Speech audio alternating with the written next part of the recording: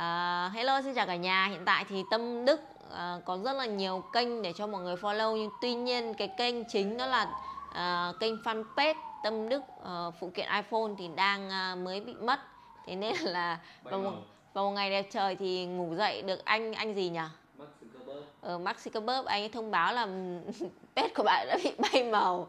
Thế là bây giờ mình đang xây dựng lại page mới. Page mới của bên mình đó là tâm đức mobile nhé mọi người chỉ cần gõ tâm đức mobile thì sẽ ra page mới.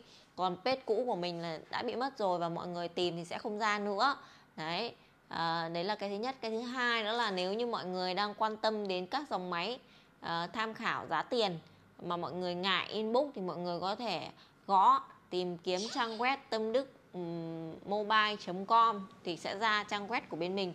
Và ở đấy thì bên mình update các dòng máy và à, update giá tiền liên tục. Nên mọi người chỉ cần vào đấy thì sẽ biết được cái giá tiền của từng loại máy và phù hợp với nhu cầu của từng người. Đấy.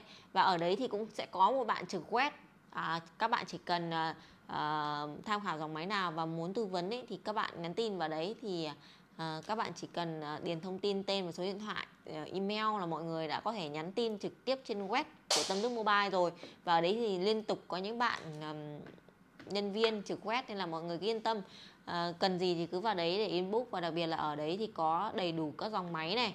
À, từ iPhone, iPad mini rồi các dòng máy hay là đồng hồ Apple Watch hay là thậm chí cả là MacBook cũng có giá được update liên tục và ngoài máy ra thì ở đấy có cả các dòng phụ kiện. Ví dụ như là loa Harman hay là uh, tai nghe AirPods hay là những cái phụ kiện đi kèm của Apple đó là chuột bàn phím. Uh, rất là nhiều những cái dòng phụ kiện cao cấp. Bên mình thì luôn update ở trên trang web rất là nhiều. Đấy mọi người cần gì chỉ cần vào đấy uh, tham khảo và tìm kiếm ở đấy nhá. Và hy vọng là khi mà mọi người xem uh, và nếu như có thể thì hãy cho mình xin thêm nó là đánh giá ở web giúp mình nhá. Bởi vì là uh, đang xây dựng trang web uh, nên là mất rất là nhiều thời gian. Nên là rất là hy vọng mọi người vào đấy thì ủng hộ cho linh để linh có động lực làm web vì làm web rất là mất rất là nhiều thời gian luôn. Uh, và đấy là những cái thông tin mà linh muốn chia sẻ với mọi người. Và mọi người nhớ là cái page cũ của mình thì bị mất rồi nên mọi người đừng tìm kiếm cái page tâm đức uh, phụ kiện iphone đấy nhá. Và hãy tìm kiếm là tâm đức mobile nhá cảm ơn mọi người rất là nhiều. Bye bye.